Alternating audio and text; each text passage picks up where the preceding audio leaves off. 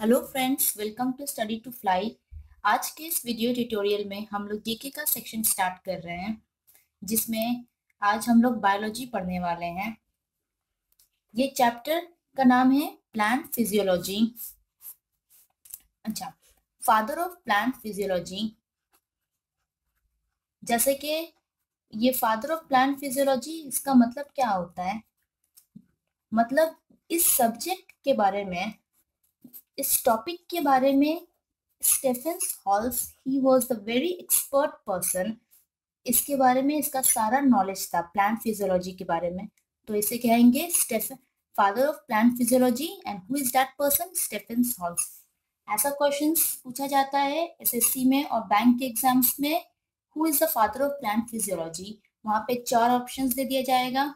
Aristotle Theophrastus Robert Hooke Stephens Hales. तो वहाँ पे आपका आंसर क्या होगा? Stephens Hales. ठीक है? तो आई होप जब ये क्वेश्चन आप सबसे पूछा जाएगा तो आप इसका जवाब दे पाएँगे। ठीक है? Next germination development of plant from seed after period of dormancy देखिए, हम लोग जानते हैं कि हम लोग भी एक सिंगल सेल से डेवलप करते हैं। एक सेल से पूरा ह्यूमन बीइंग बनता है। उसी तरह प्लांट में भी एक सीड से पूरा प्लांट बनता है।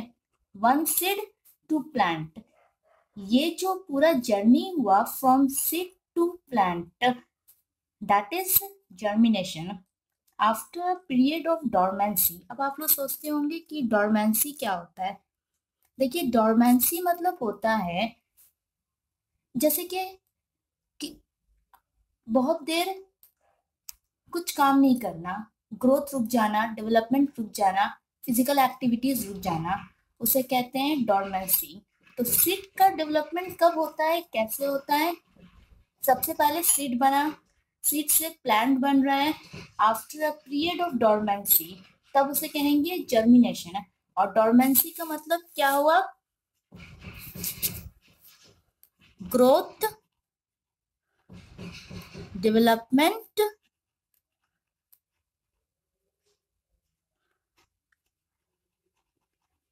and physical activities.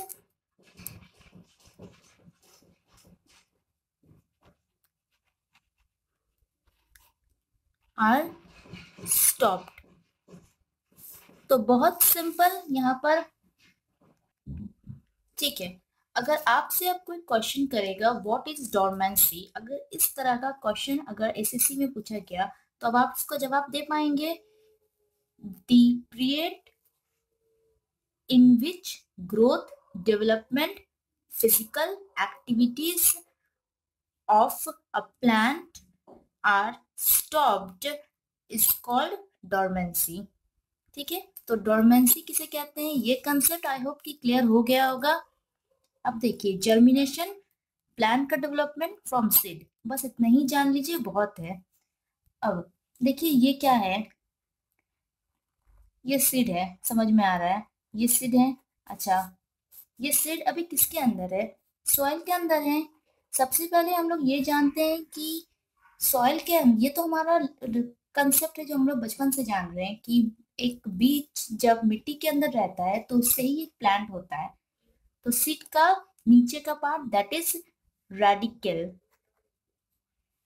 radical बनाता है रूट सिस्टम रेडिकल से बनता है root system this is root system and this ऊपर वाला पार्ट इसको कहते हैं प्ल्यूमल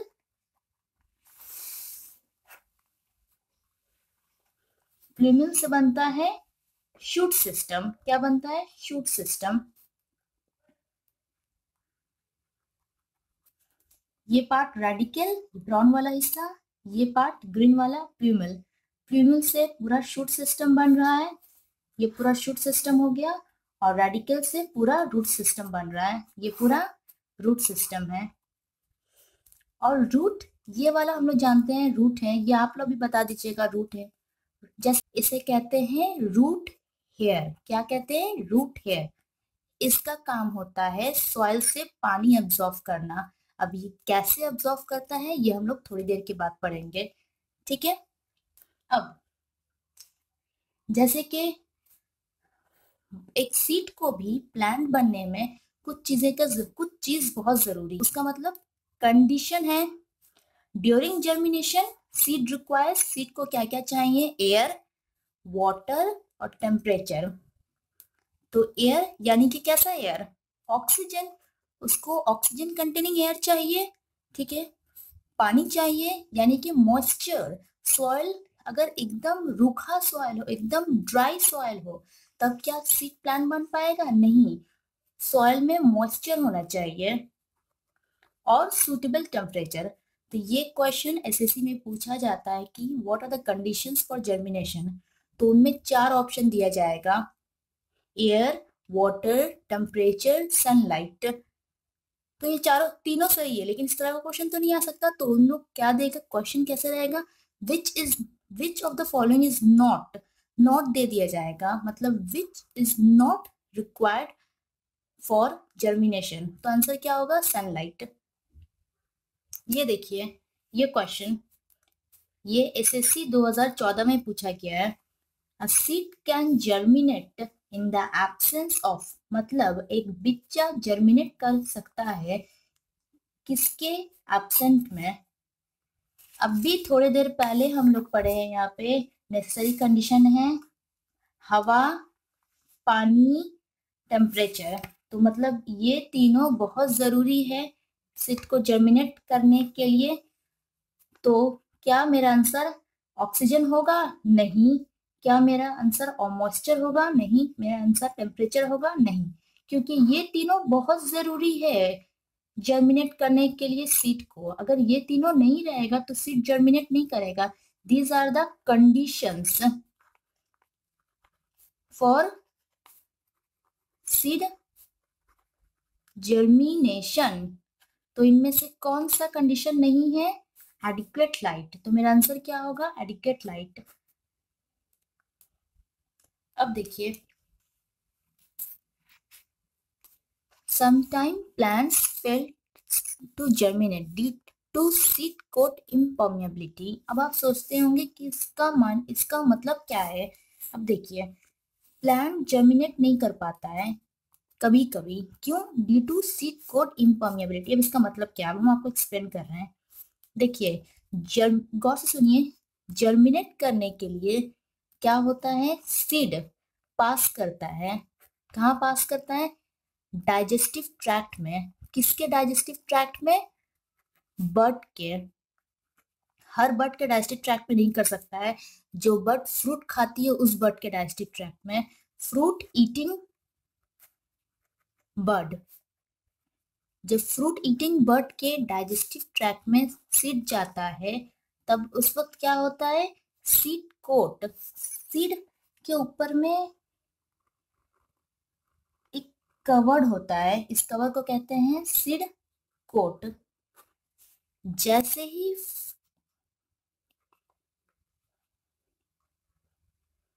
जैसे ही फ्रूट ईटिंग बर्ड के डाइजेस्टिव ट्रैक्ट में जाता है सिड तो उसका सिड कोट रप्चर कर जाता है।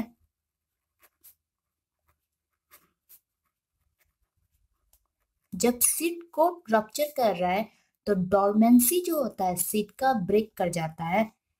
डॉर्मेंसी क्या होता है? हम लोग थोड़े देर पहले पढ़े हैं।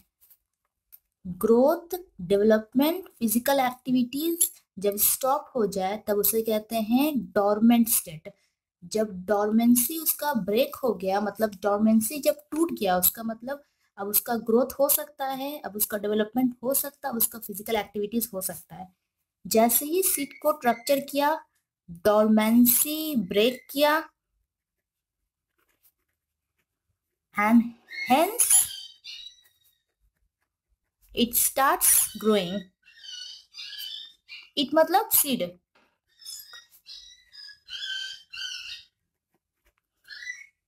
ठीक है? लेकिन कभी कभी क्या होता है कि क्योंकि जब डॉर्मेंसी ब्रेक कर रहा है, तब क्या होगा? इट स्टार्ट ग्रोइंग इसे फिर से समझिए, अच्छे से समझिए। ये इम्पोर्टेंट है, ये ये इससे क्वेश्चन आता है एसएससी में। देखिए, सबसे पहले सिड पास किया मतलब इंटर किया। सिड इंटर किया, कहाँ इंटर किया? डाइजेस्टिव ट्रैक्ट में फ्रूट ईटिंग बर्ड का सीट कोट रप्चर किया सीट कोट रप्चर किया डोरमेंसी ब्रेक हुआ तो उसके कारण नाउ सीड स्टार्ट्स ग्रोइंग तो प्लांट बना, ठीक है? लेकिन समटाइम्स सीट कोट इम्पर्मिएबल होता है, जिसके कारण सीट कोट इम्पर्मिएबिलिटी के कारण सीट कोट रप्चर नहीं कर पाता है तो डोरमेंसी तो ब्रेक होगा ही नहीं वेन सीट कोट रप्चर जब सीट कोट रप्चर होता है, तभी डोरमेंसी ब्रेक करता है। डोरमेंसी ब्रेक नहीं होता है, तब उसके वजह से क्या होता है कि सीड प्लांट नहीं बन पा रहा है। सो तो हम लोग कह सकते हैं कि प्लांट फेल टू जर्मिनेट ठीक है, समझ में आया हम यहाँ पे क्या कह रहे हैं? यहाँ पर से एक क्वेश्चन आया है एसएससी में, आइए उस क्वेश्चन को सॉल्व करते हैं। आइए देखते हैं ये क्वेश्चन ये क्वेश्चन एसएससी 2006 में 2006 में पूछा गया है। The seeds of certain plant fail to germinate if they do not pass through the digestive tract of fruit eating birds. Due to, मैंने जैसे आप लोगों को एक्सप्लेन किया, ये बिल्कुल वैसे ही क्वेश्चन आया है। बिल्कुल वैसे ही। आई होप कि आप लोग सबको इसका आंसर अब मालूम होगा। बिना ऑप्शन देखे बता सकते हैं सही आंसर क्या है। ठीक है। Hibernation no infertility no seed coat impermeability okay जब आपका आंसर मिल गया, आगे ऑप्शन देखने की कोई ज़रूरत नहीं है।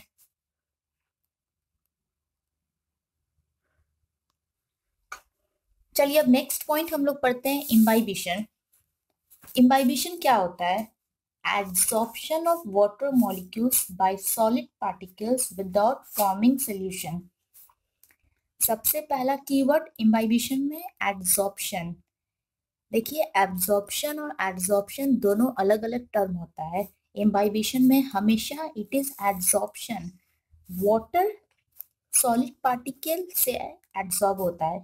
ये है सॉलिड पार्टिकल सॉलिड पार्टिकल पानी को एड्जॉर्ब किया, लेकिन कोई सोल्यूशन फॉर्मेशन नहीं हो। उसे कहते हैं imbibition so what is imbibition water का एड्जॉर्प्शन सॉलिड पार्टिकल से और हम लोग ये भी कह सकते हैं कि सॉलिड पार्टिकल पानी को जब एड्जॉर्ब करे और कोई सोल्यूशन नहीं बनाए, तब कहेंगे उसको इम्बाइबिशन इम्बाइबिशन का एग्ज़ाम्पल है जो कि हम सब जानते हैं। क्या? देखिए रेनी सीज़न में ज़्यादातर क्या होता है? आपका वुडन डोर वुडन मतलब लकड़ी लकड़ी का दरवाज़ा जाम हो जाता है। जब हम लोग दरवाज़ा खोलने की कोशिश करते हैं तो वो नहीं खोता है। This is due to imbibition rain water जो है, वो दरवाज़ा दरवाज़ा क्या है? वो एक सॉलिड हुआ, उससे इम्बाइब कर जाता है। मतलब उस रेन वाटर का एब्जॉर्प्शन हो जाता है दरवाज़ा पे, जिसके, दरवाज़ा जहाँ पे खुलता है, उसके एज पे, जिसके कारण वो खुल नहीं पाता है। दिस इज़ इम्बाइबेशन तो इसका एग्ज़ाम्पल क्या है? वुडन डोर एंड और एक एग्जांपल ले लीजिए, विंडो फ्रेम कभी कभी ऐसा खिड़कियाँ के साथ भी होता है, खिड़कियाँ हम बहुत खोलने की कोशिश करते हैं, वो खुलते नहीं है। अच्छा next point next topic osmosis osmosis क्या होता है? सबसे पहला बात मैं ये ऑस्मोसिस और इंडोस्मोसिस एक्सोस्मोसिस हाइपोटोनिक हाइपोटोनिक पढ़ाने से पहले आपको ये बताना चाहती हूँ कि ये सब प्रोसेस में मूवमेंट हमेशा वाटर मॉलिक्यूल्स का होता है। आप प्लीज़ ये बात को अपने माइंड में रखिए कि मूवमेंट हमेशा सॉल्वेंट होता है। जब भी कोई मूव करता है when there is a flow तब हमेशा सॉल्वेंट फ्लो करता है। मूव हमेशा सॉल्वेंट करता है। सॉल्यूट कभी मूव नहीं करता है, कभी नहीं। मूवमेंट हमेशा सॉल्वेंट का होता है। सॉल्वेंट क्या होता है? आप तो जानते हैं। वाटर सॉल्वेंट हो गया। मूवमेंट ऑफ़ वाटर मॉलिक्यूल्स अब ऑस्मोसिस हम लोग पढ़ रहे हैं। वाटर मॉलिक्यूल्स का movement from the region of high chemical potential to that of a lower chemical potential across a semi permeable membrane okay water molecules move कर रहा है कहाँ से? हाई केमिकल पोटेंशियल रीजन से to lower chemical potential region इसका मतलब क्या होगा सपोज़ कीजिए एक हायर कॉन्सेंट्रेशन रीजन है और एक है लोअर कॉन्सेंट्रेशन रीजन तो पानी मूव करेगा हायर कॉन्सेंट्रेशन रीजन से लोअर कॉन्सेंट्रेशन रीजन में through a semi permeable membrane एक सीमी पॉमेबल मेम्ब्रेन रहेगा दोनों दोनों दोनों सोल्यूशन का सेपरेशन जो होगा, वो होगा by means of semi permeable membrane तो ऑस्मोसिस में बहुत इंपॉर्टेंट टर्म है सेमी परमेबल मेम्ब्रेन और भी एक एग्ज़ाम्पल हम लोग लेंगे ऑस्मोसिस जो हो, जैसे कि हम आपको बताएँ यहाँ पे कि वाइब्रेशन डोर्स में होता है विंडोज़ में होता है डेन रेनी सीज़न उसी तरह ऑस्मोसिस कहाँ होता है, ये भी मैं बताऊँगी. पानी यहाँ पे मैं बताई थी आप लोग को शायद याद होगा कि पानी सॉइल से एब्जॉर्ब होता है रूट हेयर से। रूट हेयर पानी को ऑब्जॉर्व करता है सॉइल से, ठीक है? तो जब रूट हेयर पानी को ऑब्जॉर्व कर रहा है सॉइल से तो कैसे ऑब्जॉर्व कर रहा है? आप लोग सोचिए कैसे? It is absorbing by means of osmosis osmosis is required for the absorption of water from the root hair ठीक है? आई होप यहाँ तक आप लोग क्लियर हो गया होगा। ये क्वेश्चन एसएससी में पूछा गया है। चलिए डिस्कस कर लेते हैं। ये देखिए। In plants water is absorbed by the root hair is by the process of क्या होगा आंसर आप लोग इसका आंसर भी जानते हैं। देखिए, मैं एक स्टेटमेंट को बार बार इसलिए रिपीट करती हूँ ताकि आप लोग के दिमाग में ये बैठ जाए। आप लोग क्वेश्चन देखें और आंसर दे दें।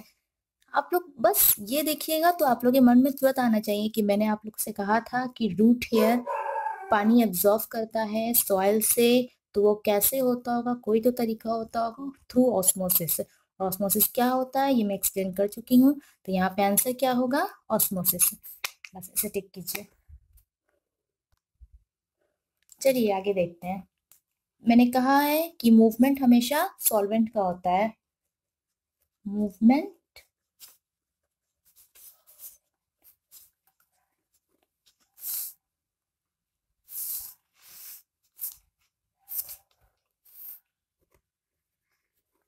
ठीक है? सॉल्यूट कभी मूव नहीं करता है। कभी नहीं। अब इंडोस्मोसिस ये सब टर्म आप लोग को रटने की ज़रूरत नहीं है, क्योंकि ये बार बार आपके लाइफ में आएगा तो इसलिए इसका मीनिंग समझिए, इसका डीप मीनिंग इंडो इंडो मतलब अंदर एक्सो मतलब बाहर ऑस्मोसिस बता दिए हम क्या होता है ऑस्मोसिस आप लोग जानते हैं होता क्या है। मूवमेंट किसका होता है? सॉल्वेंट का, उसका मतलब पानी अंदर जाएगा, क्योंकि इंडो टर्म है जिससे पता चल रहा है कि पानी अंदर जाएगा। Entry of water into the cell तो सेल के अंदर पानी का एंट्री होना उसको कहेंगे इंडोस्मोसिस यह है मेरा सेल सेल के अंदर जब पानी इंटर कर रहा है तो सेल क्या होगा? सेल का साइज़ इंक्रीज करेगा ना? जब सेल के अंदर पानी जा रहा है ऑफकोर्स सेल का वॉल्यूम इंक्रीज कर जाएगा। ठीक है?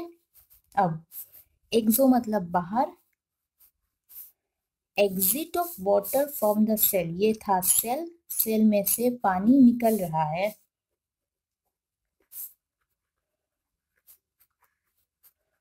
तो सेल क्या होगा? चपटा हो जाएगा। इसे हम फ्लासेट कहेंगे इंग्लिश में। और जब सेल बढ़ रहा है टर्जिट तो यहाँ पे सेल की वॉल्यूम क्या हो रहा है? इंक्रीज कर रहा है। और यहाँ पे सेल का वॉल्यूम क्या हो रहा है? डिक्रीज कर रहा है। Cell decrease in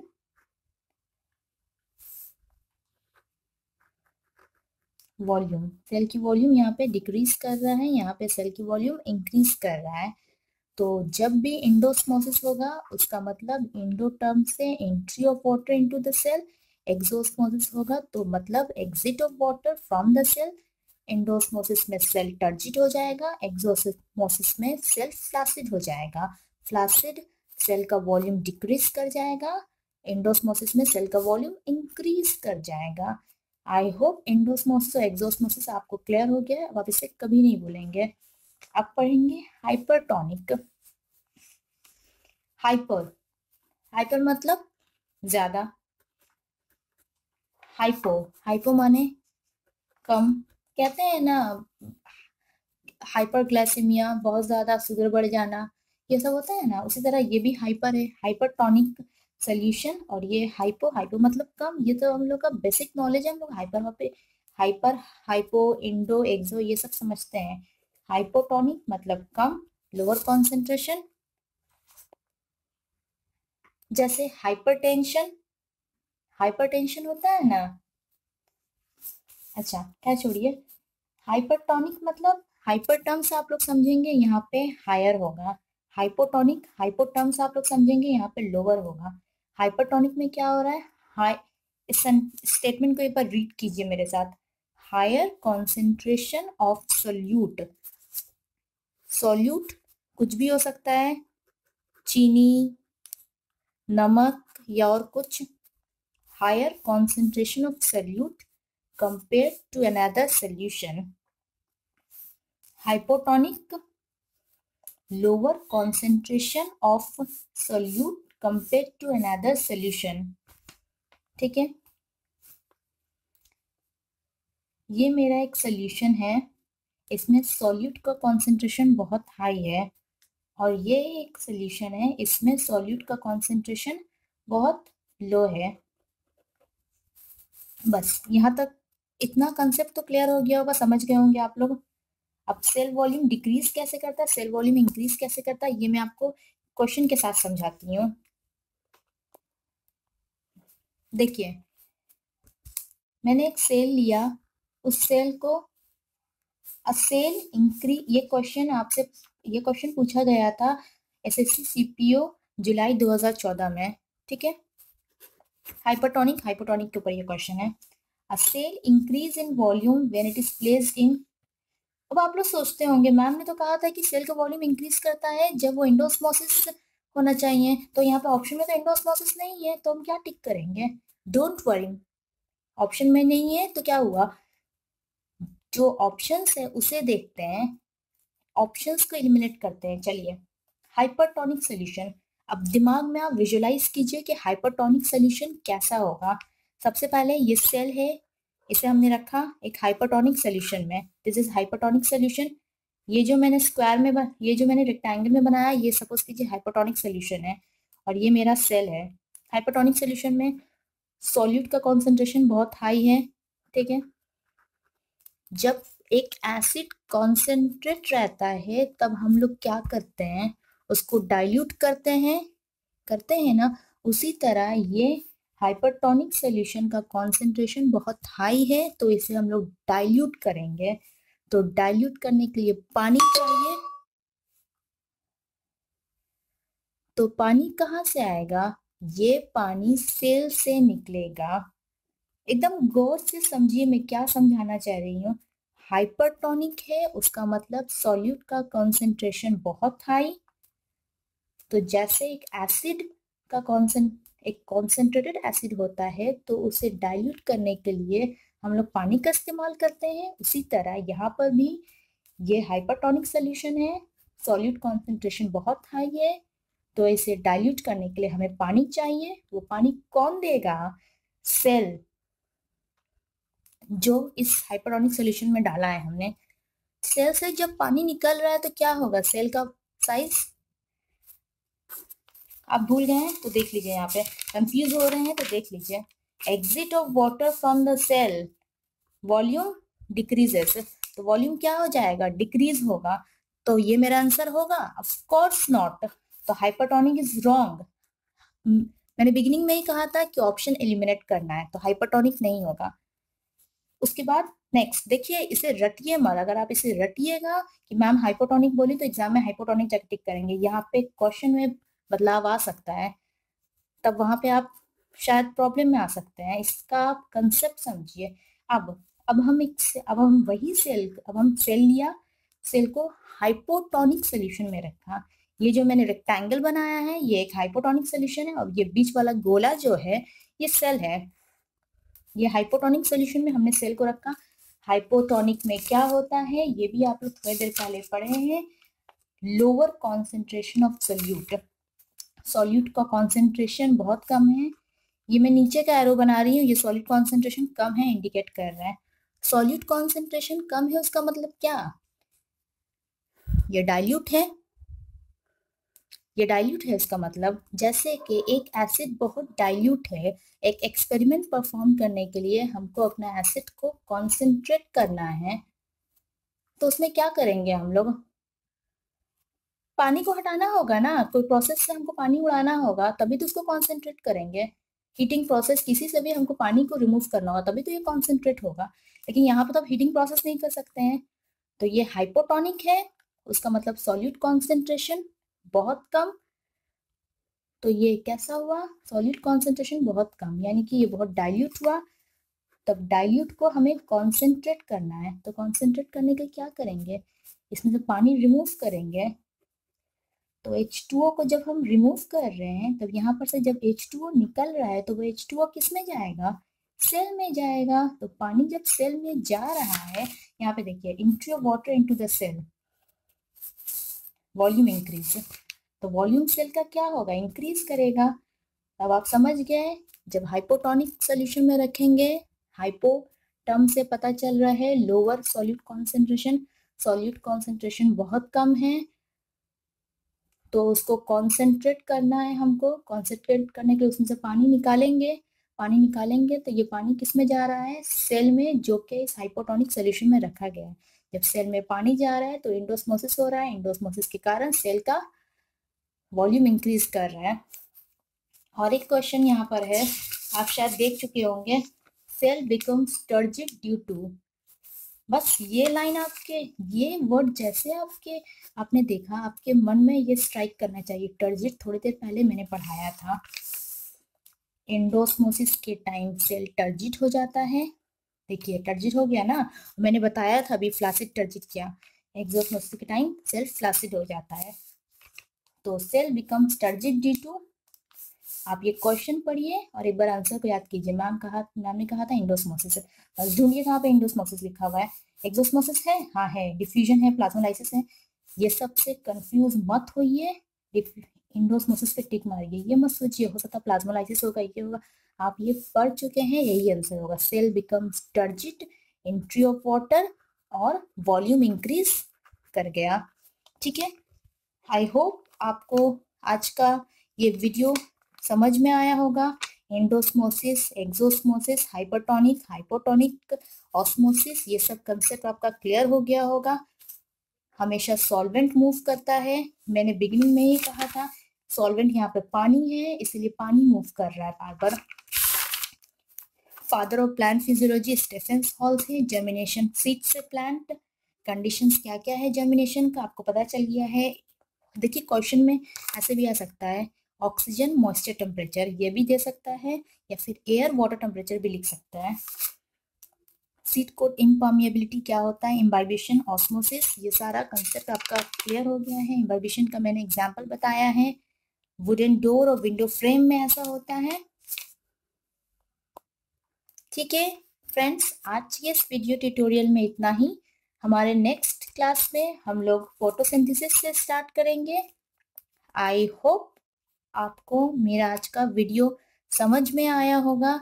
जो मैंने पढ़ाया, वो आपको समझ में आया होगा। अगर आपको ये वीडियो पसंद आया तो प्लीज़ प्लीज़ इसे लाइक कीजिए, अपने फ्रेंड्स के साथ शेयर कीजिए और मेरे चैनल को सब्सक्राइब कीजिए, ताकि जब मैं न्यू वीडियोस अपलोड करूँ तो आपके पास नोटिफिकेशन आ जाए। Thank you for watching.